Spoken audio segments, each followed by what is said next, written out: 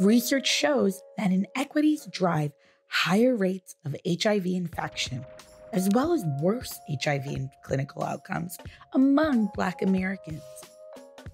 The COVID 19 pandemic has further highlighted and exacerbated such health inequities, especially in the southern United States.